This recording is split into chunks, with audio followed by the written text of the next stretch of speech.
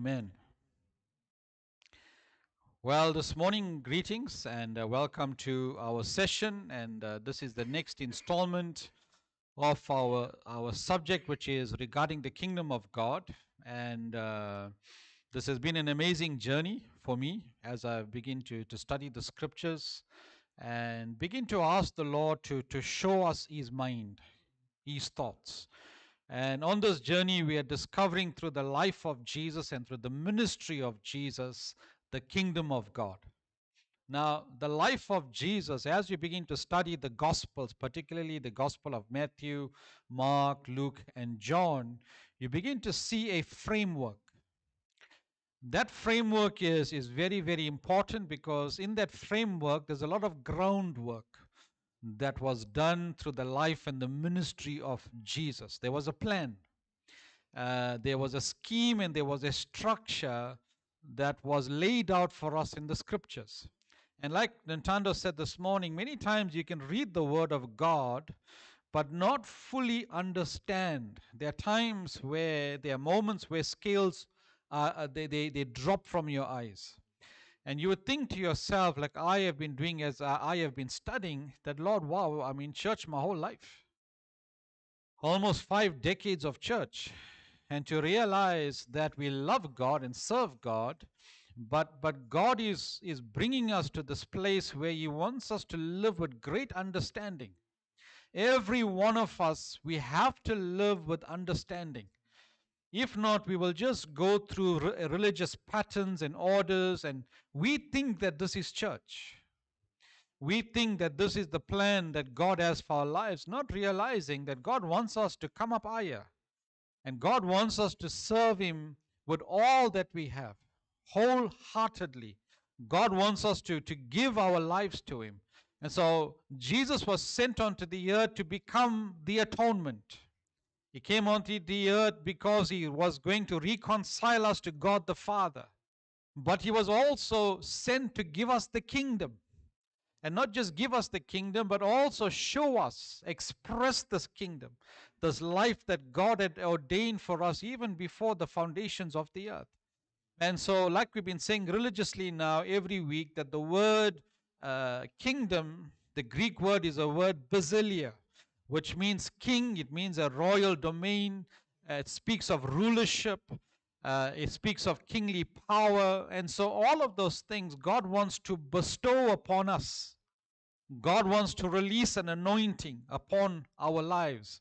But He can't do that if we've not allowed ourselves the, uh, this life that God has want, God imparted into us. This is important. Amen. And so we, we, we've been talking about the process of regeneration, and we were saying that you get saved once, but you're born again repeatedly. Repeatedly. And so we have to go through a process of regeneration, a process of reconfiguration, and a process of reformation. And all of these things have been designed by the Lord to bring us to this powerful place, which is called our sonship or maturity. And so, uh, when Christ came onto the earth, he came to establish an invisible kingdom. An invisible kingdom. And Christ was to administrate his kingdom through us. We are his family, we are the body of Christ. The problem is that we have become a people that are weak. Uh, the wine has run out in our lives. We've come to this place where we are overcome by so much of, of, of trials and tribulations and difficulties. How many of you feel like that sometimes? You feel overwhelmed by what you are going through. But salvation makes us resilient. It, it gives us an overcoming mentality. It makes us strong. It, it, it, it creates a mindset that, that we know we have to walk in dominion. And so we as his church must live from that place. We must function out from that position.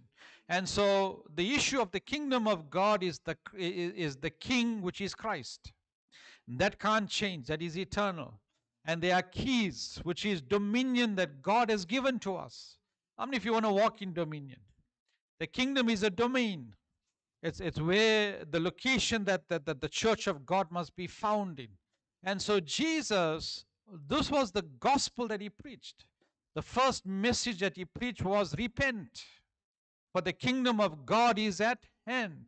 And so, repentance is to change one's mind, where we have to reconsider the way we know what church is to be. And so we all have to come to that place of repentance. And so, like I've been saying uh, consistently, that repentance is not just saying, I'm sorry, but coming to this place where you view Christ differently. You view the body of Christ differently. You view the ways of God differently. And so, Matthew chapter 10, verse 7, the Bible says, As you go, preach, saying, The kingdom of heaven is at hand. He sent out people to preach the kingdom.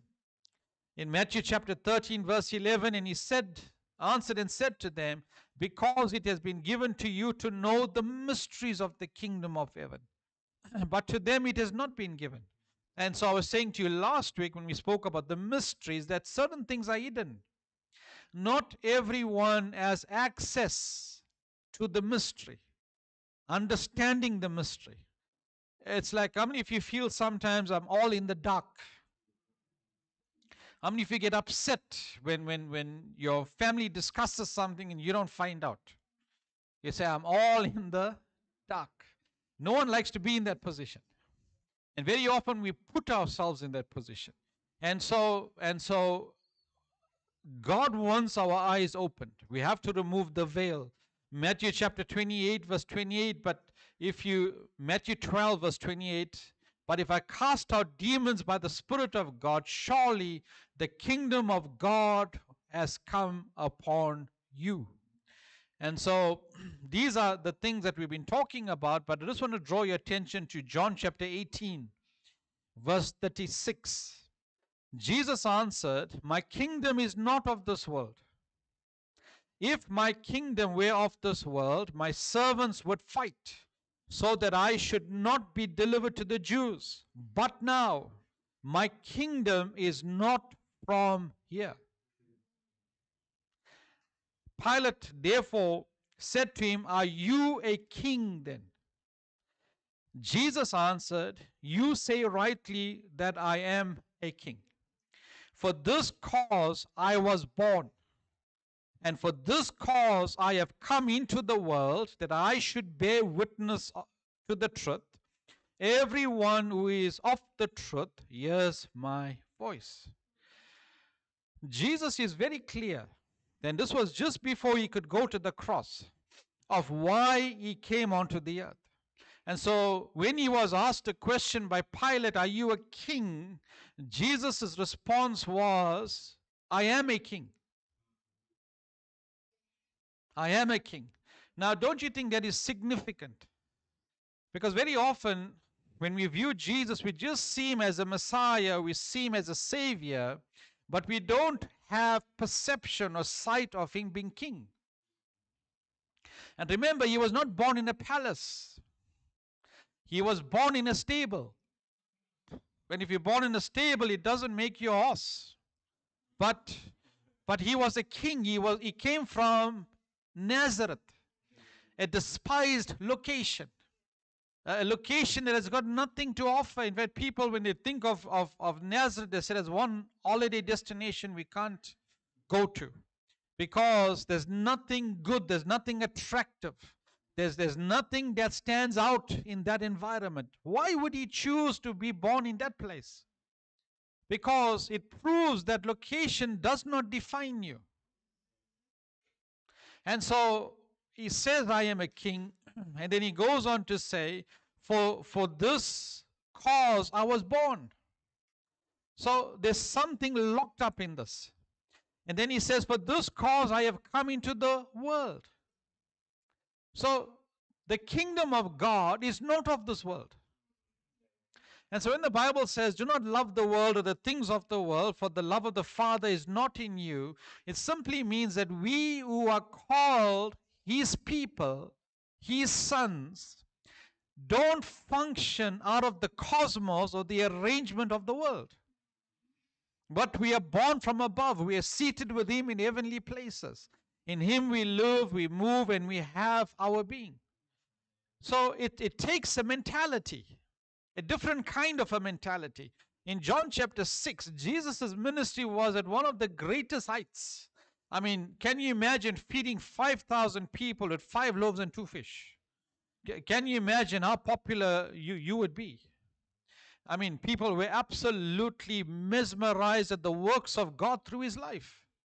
And so, at the height of what he was doing on the earth through his ministry, verse 15 says, Therefore, when Jesus perceived that they were about to come and take him by force to make him king, he departed again to the mountain by himself alone. Now, can you imagine at the height of whatever you are doing, when people wanted to exalt you, when people wanted to worship you, when people wanted to create what he did not come for, Jesus did not succumb to that temptation. How many people fail at that hurdle in life where you are at the height of whatever you are doing? And it's so easily to be distracted from your purpose. That the kingdom that they wanted to create was a earthly kingdom a kingdom that you can see, a physical building, a physical throne. And Jesus rejected that because he rejected all of that for one purpose, and that was to sit on your heart. To let his throne be on your heart so that he could rule and govern from that position. Hey, how great are we? Amen. And so Uh, and so when, when you look at what we spoke about last week, the two types of people, you either live your life by, by being led by the Spirit of God or you live your life by, by the flesh. Now, family, this is your decision, it's your choice. I can't make that decision for you. I can only instruct you in righteousness. I can encourage you. I can give you the word of the Lord, but you have to make the decision. You have to make the decision. And so many of you during this, this series, you will be at a crossroad. Many times you, there will be great offense that will come out of God's word because there are a lot of cliches that go around. Like I said to you uh, when we started the series, many people will use terms like, brother, it's all about the kingdom. Brother, it's for the kingdom, without understanding the kingdom of God. And so similarly, how many of you would go to Matthew 6:33 which says seek first the kingdom of God and his righteousness and all these things shall be added without understanding what is first. And I can tell you right now that many people that are going to church don't understand that principle and we don't see the evidence of, of the kingdom of God manifesting in our lives.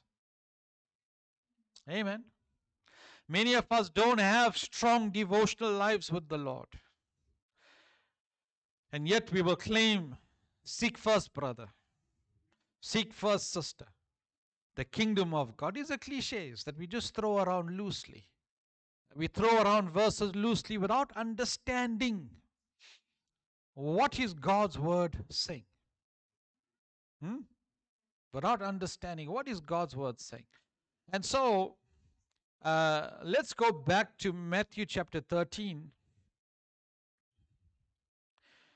So, the context of Matthew chapter 13, which we spoke about last week, was the issue of people that understand and uh, rather people that see and hear and others that don't. Am I right? And so we were we were talking about the mysteries. And so verse 10 says, and and he and the disciples came to him and said to him, Why do you speak to them in parables?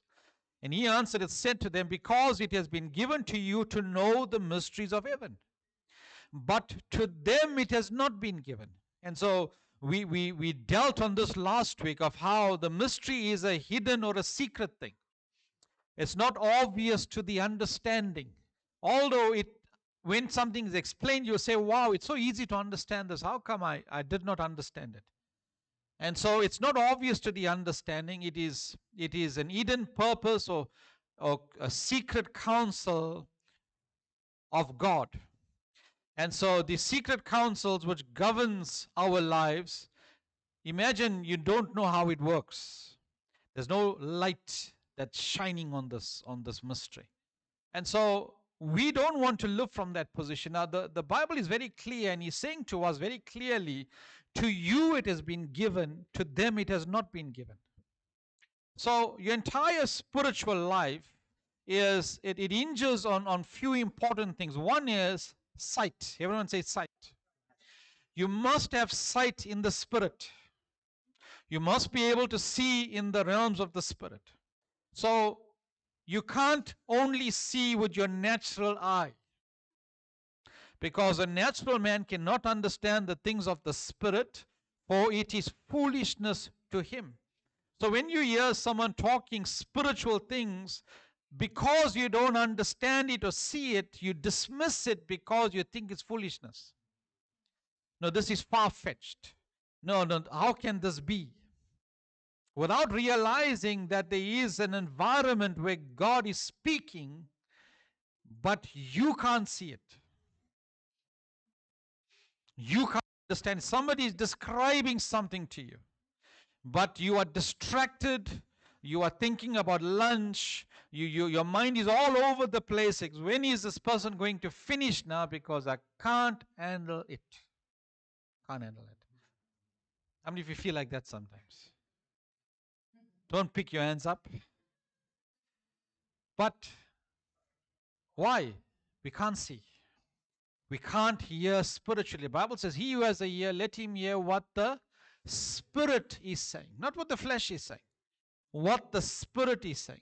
Very often we can get offended in church by the message. We can say, hey, you know, pastor is throwing heavy stones. They're like boulders. Pastor does not like me. Pastor does not love me not realizing that God is speaking to you. But you take offense to it because you are not able to hear by the Spirit of God. No message should offend you. The message should cut you and bring you to the place of repentance where you realize, hey, there's adjustments now I need to go and make. And every time Jesus spoke to the Pharisees and the scribes, they were upset with him. They were angry with him. Their countenance was, was of wanting to murder him because they could not handle the presence of Jesus. Because every time he opened his mouth, it was always against what they were doing, against what they were practicing. And the Lord is saying, hey, to them, it's not been given. And so we behave like a Pharisee and a scribe.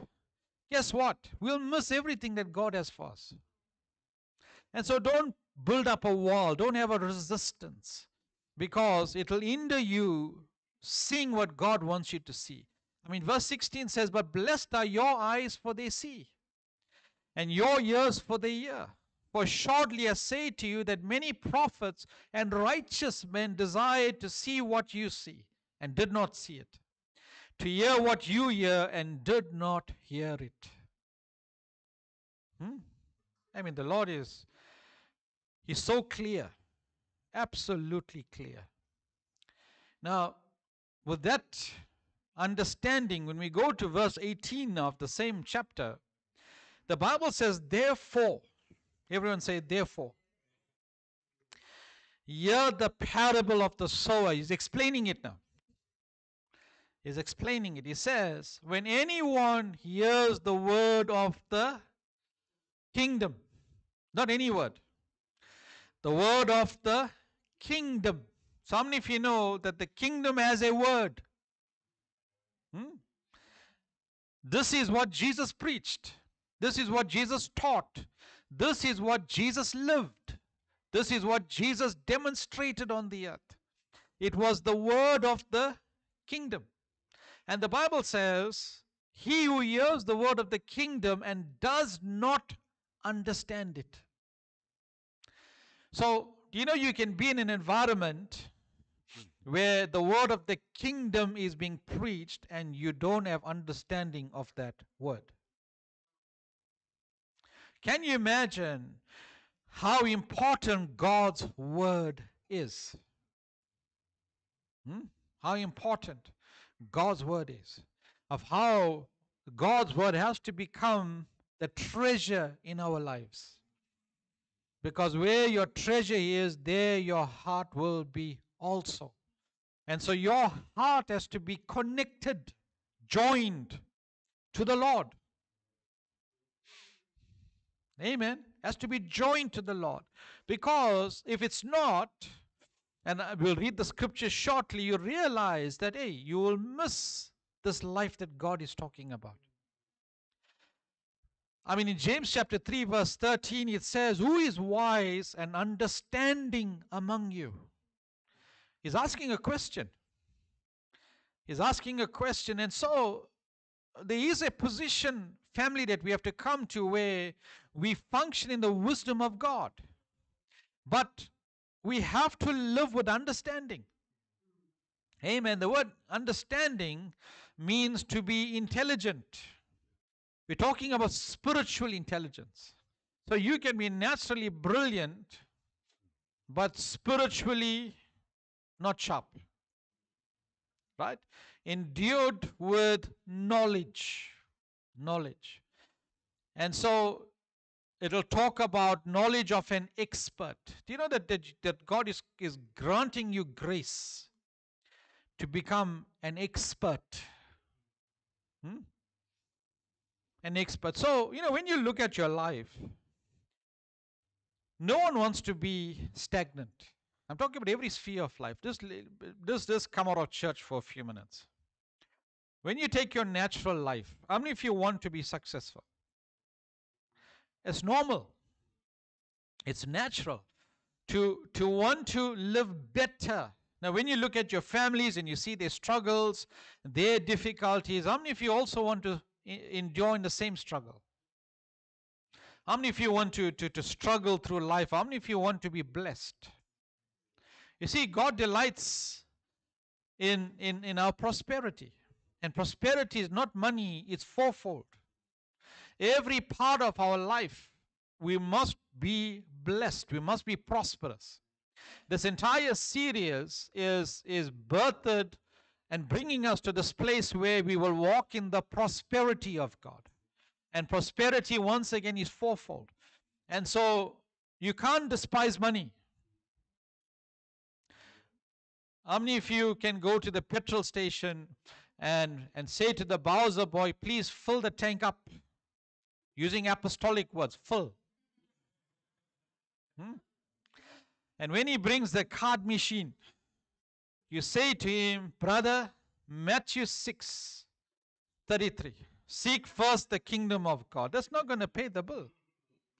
Hey, Ricardo, don't go try that. You're going to get a hiding. Hmm? You'll be prosecuted. Quoting the scripture is not going to cause you to exist on the earth. You need money. Don't despise money. How many of you wake up one morning and, and you see a deposit of a hundred thousand rands in your account? But you went to bed sad. You went to bed anxious. All of a sudden there's a there's some money in your account. Now let's be honest. I don't care how spiritual you are. Hey, you're going to be excited. You're going to all of a sudden kiss your wife, which you don't normally do every morning. Hmm? You'll be excited. You'll be walking around. You'll be singing a song, humming. With just one deposit. Hmm? One deposit. How many of you, when you wake up in the morning and there's a deposit of 100,000 Rand in your account and you're upset, like, oh, God, why my account? Why not somebody else's account? Hey? Sometimes people put money in your account and you say, Lord, hey, you know, thank you so much, but one zero is missing here. Somehow the thing is not enough. So I'm saying to us, look, God wants us to prosper. We as kingdom citizens have to be prosperous Amen. We have to be prosperous and we look at all the practical things as we go along. But the reality is, if we don't understand the word of the kingdom, we will not be fruitful and productive. So, why do you need understanding? So you can be fruitful, so you can be productive. not just coming to church and just sitting, but, but, but living this life that expresses the very nature of God. The nature of God is to be generous. How many of you get frustrated because you want to be generous, more generous, exceedingly generous, but you're not in the position to do that? Come on now. How many of you would like to say to me, Pastor, let's just go to Mercedes. We have breakfast. Choose what you want. Eh? See, Joshua has claimed it this morning. Yes, yes, class. Right? So when we when we look at the word of God, the thing that you need is light. Light will bring illumination and understanding. Because you don't want to be in the dark. You don't want to be in the dark. You can't be blaming Eskom for the rest of your life. When you have put yourself in that position, put yourself. In Matthew 6:22, the Bible says, The lamp of the body is the eye. If therefore the eye is good, your whole body will be full of light. But if your eye is bad, your whole body will be full of darkness. If therefore the light that is in you is darkness, how great is that darkness? So God has not called us to live from darkness or live in darkness, but He's brought us to this place where He wants us to live in light. Our whole body, every part of us, must live in the light of God. Amen. And so we need light. Say to neighbor, we need light. We can't live without the light of God's word. Amen. And so, if you want to be productive, you got to desire certain things. You got to long for certain things. I mean, we have to come to this place where we believe. We believe.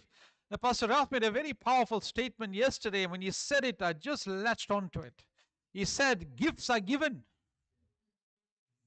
but fruit is grown. I thought that was so powerful.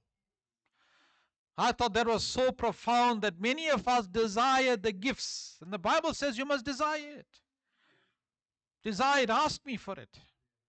And I will lavish it upon you because it is His nature to be generous towards us. But fruit is grown over a period of time. The fruit of what God has given to us must be seen in our lives.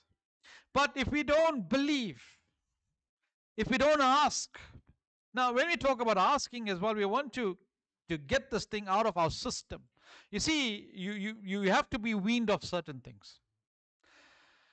And so, when you take prayer, prayer, how often our prayer is, Lord, and everything about your prayer is about you, your wife, or your husband, or your children, and your cupboards, and your fridge, and your, your safety, and there's nothing wrong in asking God for protection and for provision. But, but, our prayer life cannot revolve only around that. That means you're only worried about what you can get. Right? When are we going to ask God for grace? When are we going to when are we going to ask God for wisdom? When are we going to ask God for discernment? When are we going to, to say to God that I thirst after you? I, I, I, there's this deep desire that I have within me for you. Now, we have to start praying those prayers. This longing, this desiring for God, for His presence, for His word. How many of you would like to read the Bible and, and you see it in a brand new light altogether? Hmm? that while you are sitting, while you are sitting, all of a sudden there's a, there's a thought that comes into your spirit. And you realize hey, this is only God that dropped it. Because we're wanting to change, but if you don't receive understanding with the word of the kingdom, you can't change. And if there's no light, you can't change. It's not possible because then you're trying to change on your own strength you trying to change. Many things in my life I wanted to give up.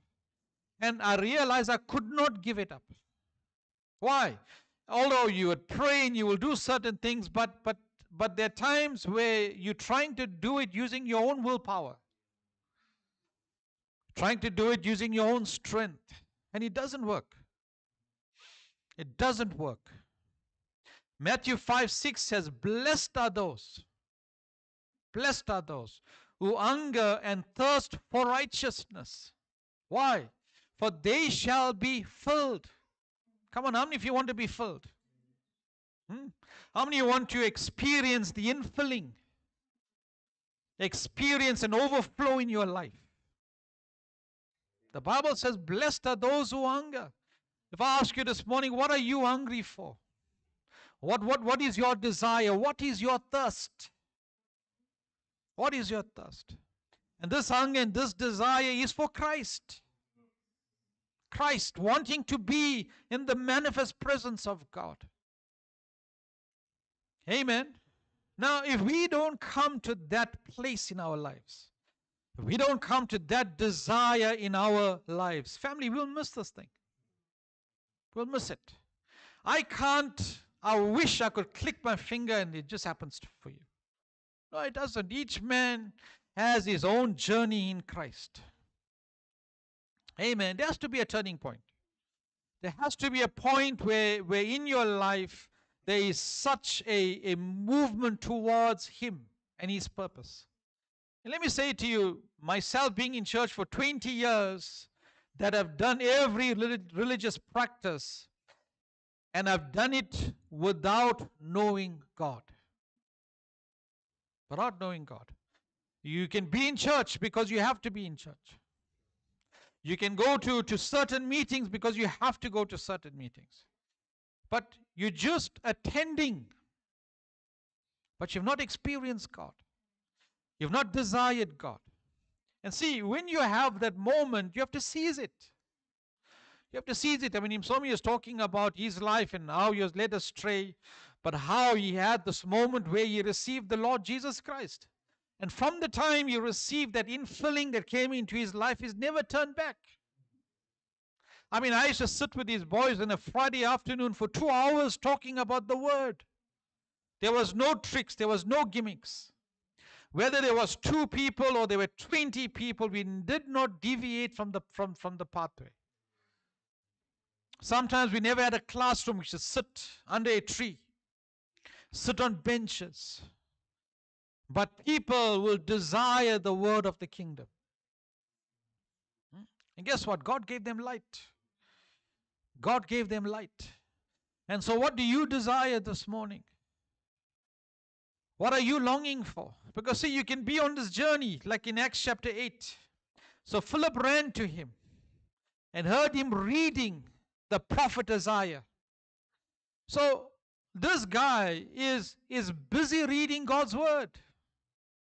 You've got to hear me very carefully this morning. He's reading God's word. He's not reading Mills and Boons. He's not reading a magazine. Come on, he's reading God's word. God's word. And Philip asked him a question Do you understand what you are reading? How's that? Do you understand what you are reading? And he said, How can I? Unless someone guides me and he asked Philip to come up and sit with him. So there's he reading God's word, reading the, the prophet Isaiah, and what a book he chose. That's a heavy book, 66 uh, chapters. Reading without understanding. Hmm? Reading without understanding. And there the Lord now, uh, there Philip is saying to him, Are you reading with understanding? And he says, How can I unless someone guides me? Right? Unless someone guides me. Look, number one is he acknowledges he needs someone. He needs someone. But there's something I want you to think about for the rest of your life. Don't allow these words to escape you. Hmm? The Bible says, and he asked. You know that you have to break all forms of, of pride. Eh? He asked. In other words, he came to this place where he, he realized, hey, uh, please come and show me. Come and explain to me. Come and give me understanding. Come and open up the scriptures to me. Help me to see in a certain way. Amen. Come and sit with me. Come up. You see, family, if you don't open the door of your heart, nothing is going to happen. That's what Jesus says I stand at the door and knock. How many of you are responding to God opening the door? Hmm. How many of you are responding to God opening the door? And so we have to come to this place of, of, of, of saying, Lord, come in. Because the Bible is saying, and I will dine with you. What is that? I want to, I want to open up the scriptures to you. That's what dine is. Dine is not uh, a romantic evening. Uh, we have a carnal perception of what dine, uh, to dine with one is. The Lord is not looking for a date. I'm not an American pastor that's trying to impress you. No, no, He wants to break bread with you so that He only can come out of the scriptures. Amen. There's such a powerful scripture in, in John chapter 5. I think it's the last verse. You can you can find it and read it. But Jesus is, is talking to these people and is, is lambasting it. Maybe Josh can put it up quickly. Joshua 5, I think it's the, the, the last two verses, where he is, is saying now to, to, to this people, and, and he's talking to them obviously with, with concerning the, the word of the Lord. Now when we when we come back to the word of the Lord, how you respond to God's word is very important. How you react to God's word is very important.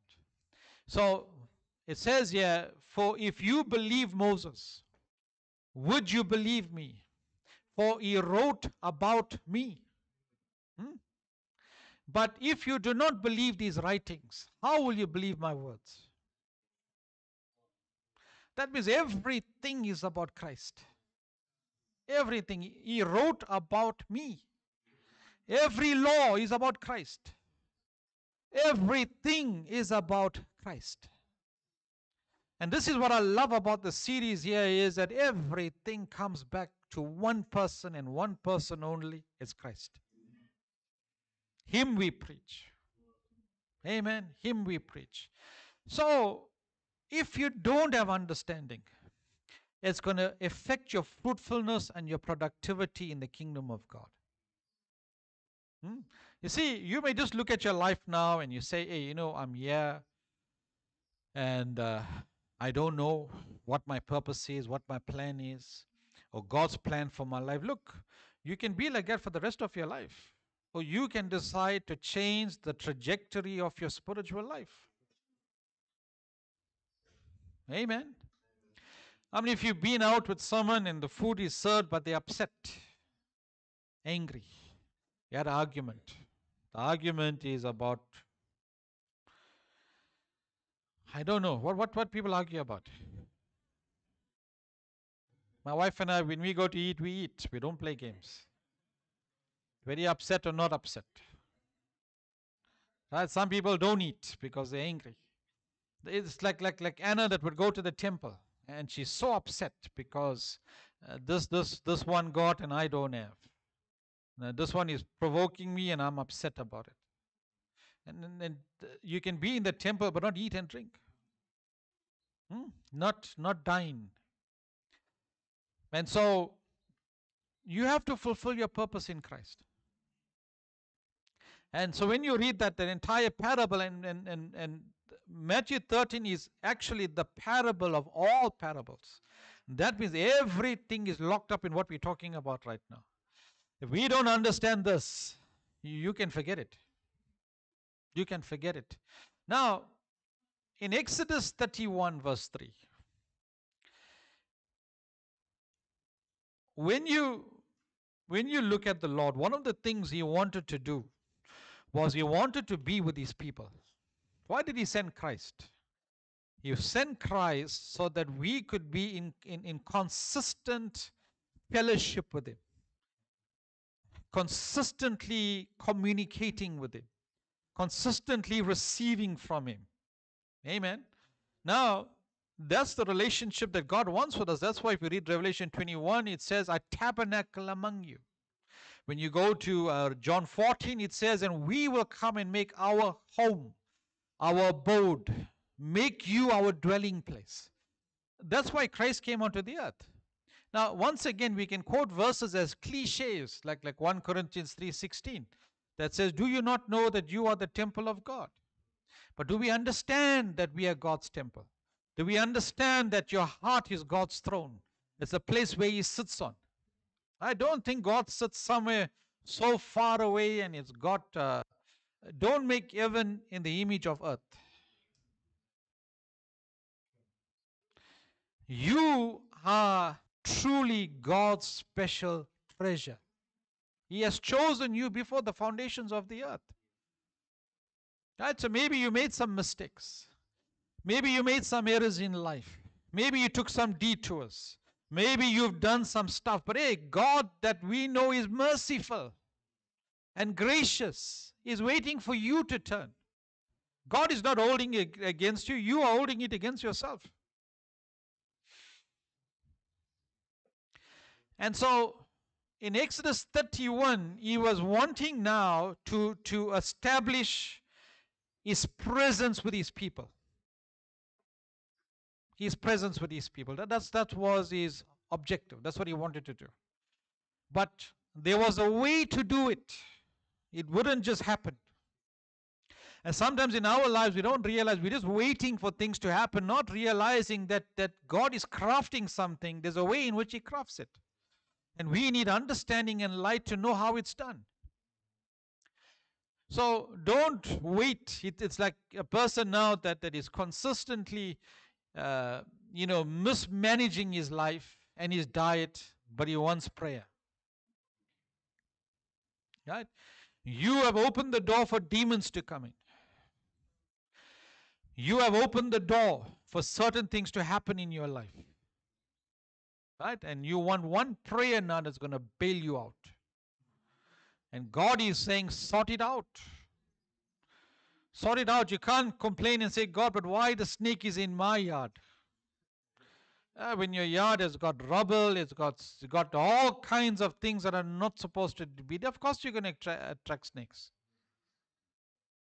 So when you see the snake, don't get frightened, don't get shocked. Say, Good morning. What took you so long? You, you understand what I'm saying? So, Jesus wanted to be with these people. And so, in, in chapter 31, he chose two men to represent him. Right? And maybe at a later date we can go through the names Basilia and Iolab. Or. If the if the a is silent. If I'm pronouncing it, you must know the H is also silent. So the, the word really takes on a brand new, brand new meaning. But but uh, Beziel means shadow. Shadow. Under the shadow of the Almighty God. How many of you like Psalm 91?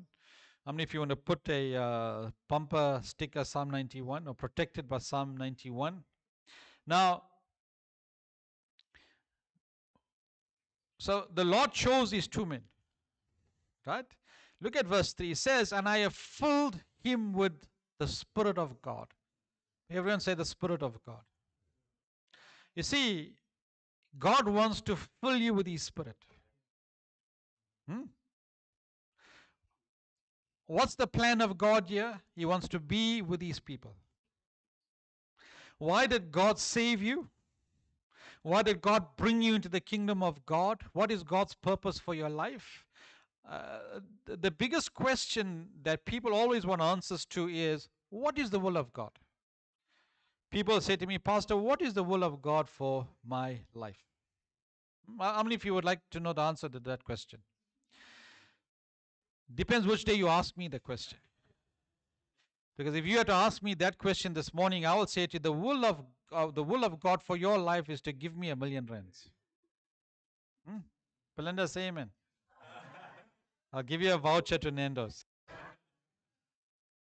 Now, the will of God for your life. Don't forget this. Because the will of God for, for my life and your life can't be different. Am I right? We may have different purposes on the earth and function in a certain different way, and we have a different grace configuration, different measures of anointing, but we are all the sons of God. And because we are all the sons of God, God's will for our life is to represent God the Father on the earth. Very simple. Very simple. You can't represent God the Father on the earth without the Spirit of God. You can't represent God the Father without wisdom. You can't rep and wisdom is wisdom from above. You can't represent God without understanding. You can't represent God without knowledge. God wants to fill you with that. Amen. So everywhere you go, guess what? Guess what? God visits his people through you. Hey, what an assignment you got. Hmm? What an assignment you got. Exodus 35 31, and he has filled him with the Spirit of God in wisdom and understanding and knowledge and all manner of workmanship. Can you see the consistency? Exodus 36 1. And every gifted artisan in whom the Lord has put wisdom and understanding, to know to do all manner of work for the service of the sanctuary, and shall do according to all that the Lord has commanded. Hmm? How's that? So, can you see why you need understanding? Because if you don't understand the word of the kingdom, you will be fruitless. You will be productive less. No one likes less.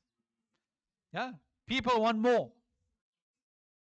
So, so when you begin to look at God wanting to be with his people, tabernacle with his people, and remember the Ark of the Covenant was a place where God would speak from. Hmm? The foundation of the Ark of the Covenant was his word. Look at God in all his wisdom, how, how he would uh, put wisdom in them for, it, for them to make it in such a way. You know that you, you take the Ark of the Covenant and you align it to your life because everything about the Ark points to Christ. Everything about it points to Christ.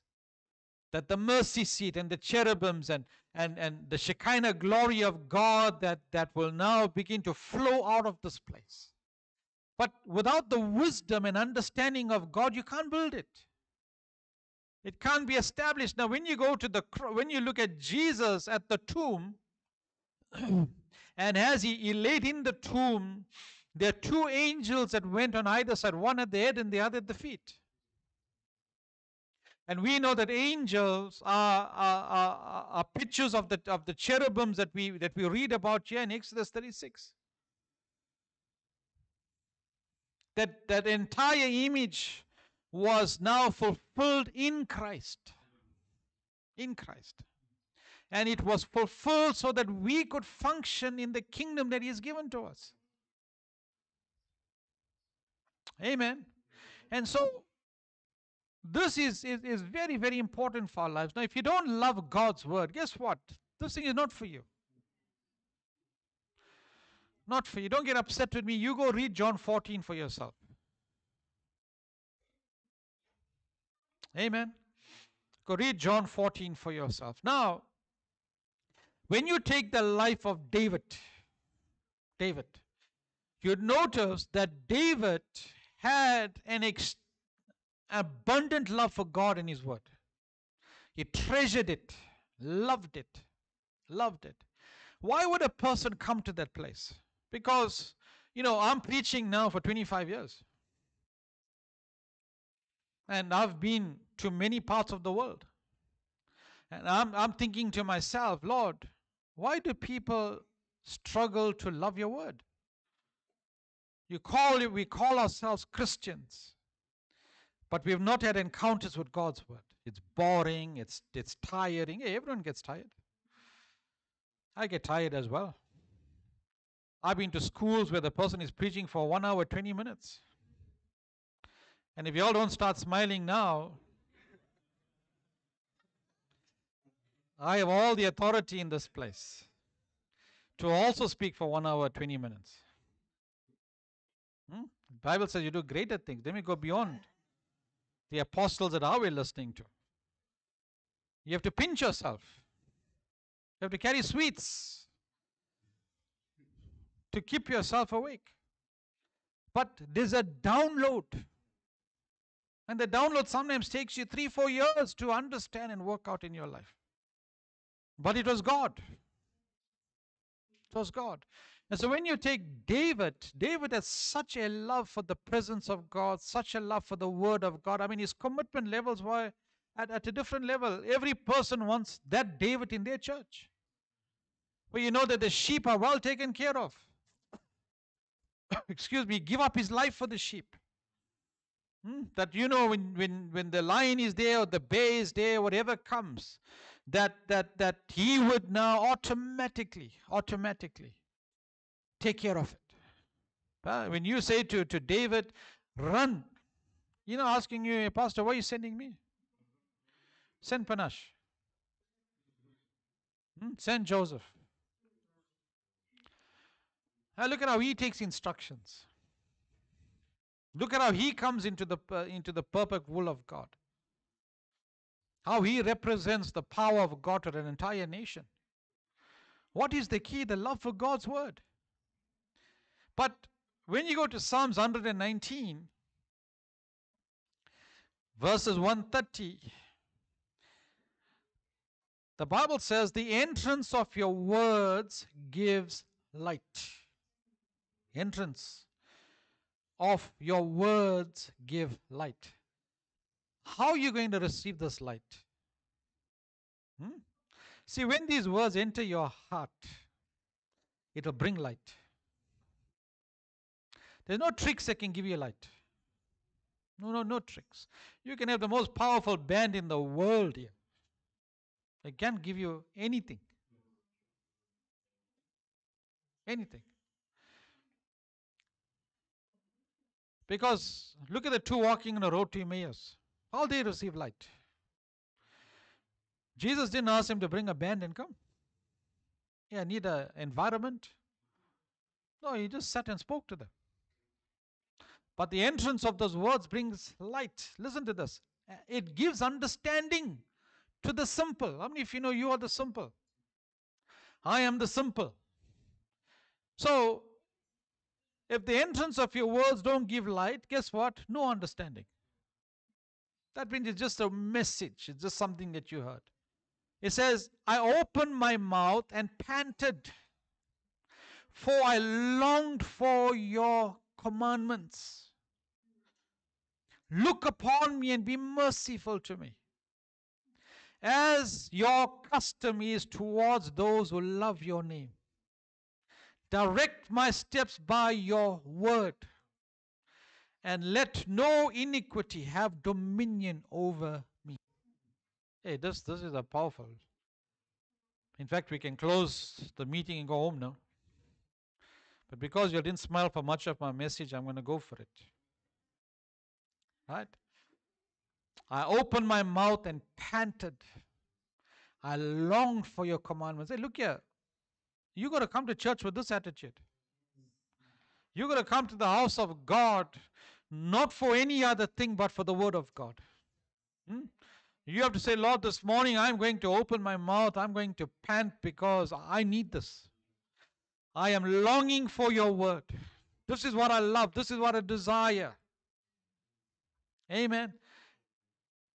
He's saying, yeah, Look upon me and be merciful. That means, Lord, don't hide this from me anymore.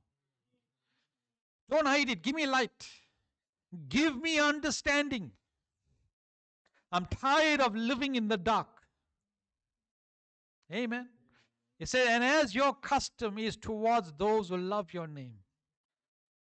Hey, God wants to unveil himself to you. He's waiting for you. He's waiting for you. Psalms 119, verse 34.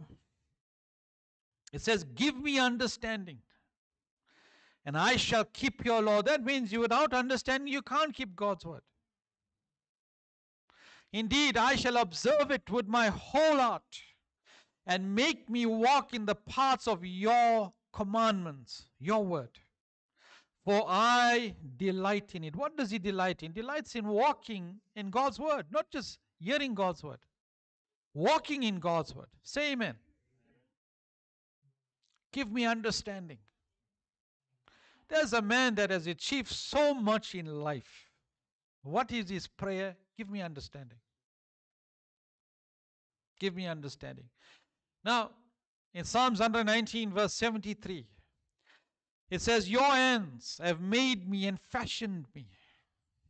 Give me understanding that I may learn your commandments. Hey, how's that?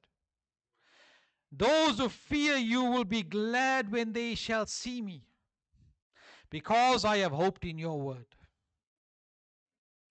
Hmm? Now, Psalms 119 is David's prayer.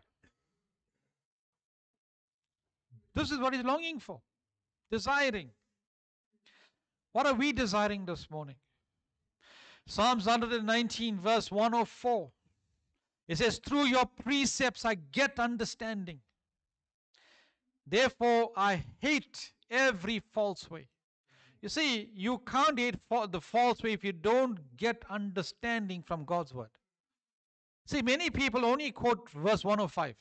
How many of you know verse 105? Your word is a. Say it, say it loud. Your word is a. To my feet. A light to my path. We all know this verse. How many of you like to quote it?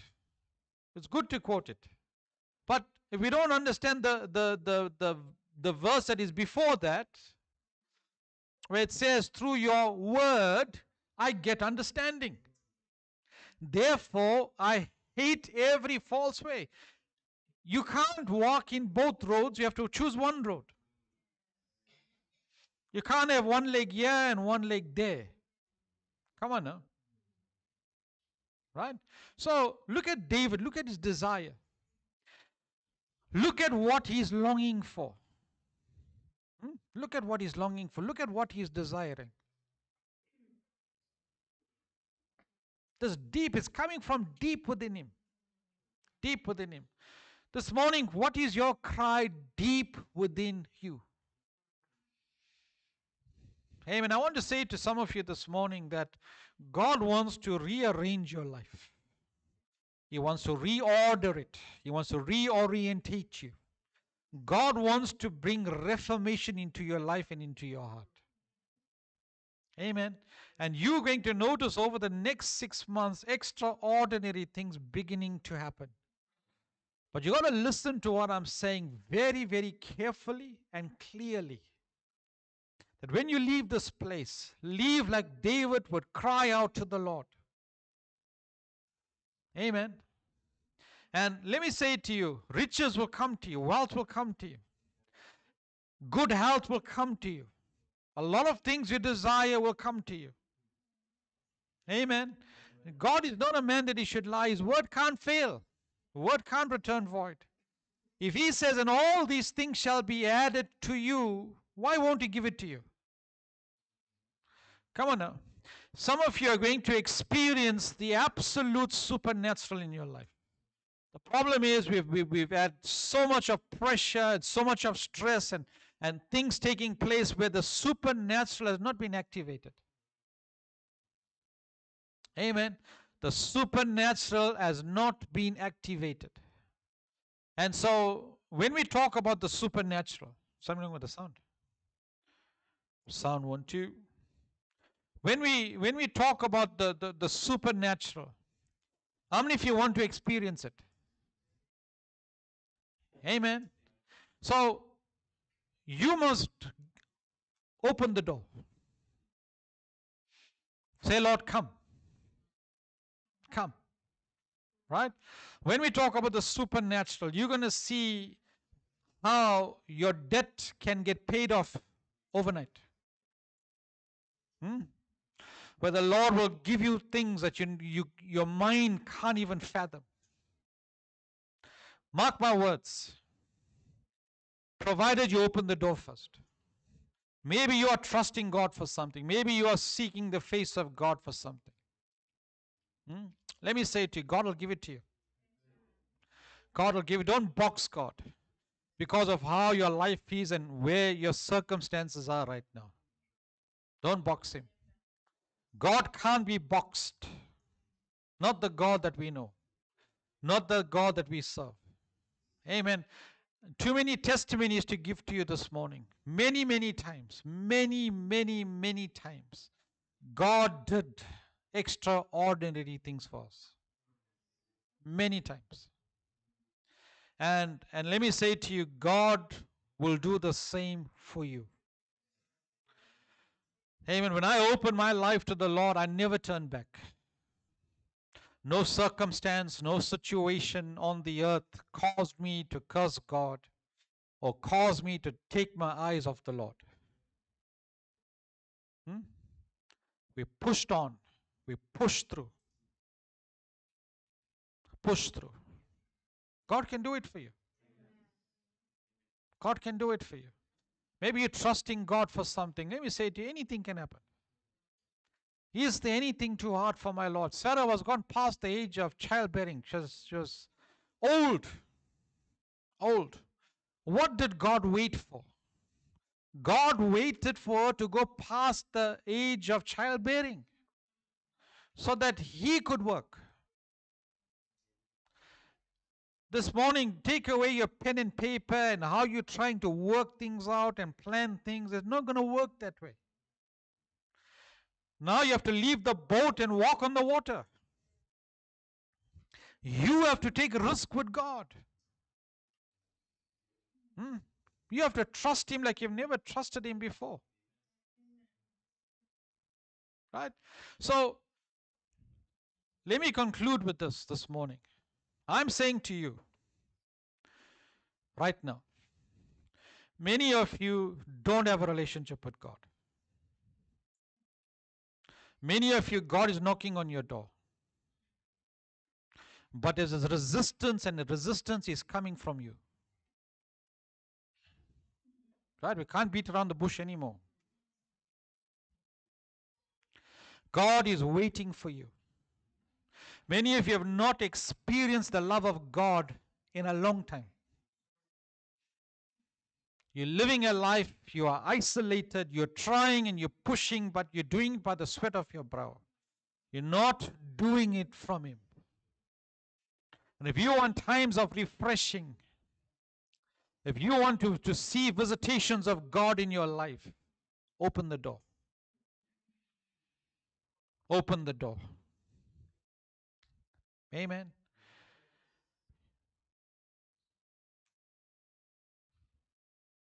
How many of you are willing to do that? How many of you are willing to do that? Some of you are holding on to the past. Got to let go of the past. What's done is done, no? You can't change it. Can't change it. Yes, maybe restitution can be made. But the reality is, you have to move forward. You have to move forward. You have to come to this place where you say, Lord, it's you I want. It's you I desire. It's you I long for. Today I open my mouth and I pant. I pant. That's my desire. That's my desire. How many of you are really excited? Stand, stand to your feet as we close this morning.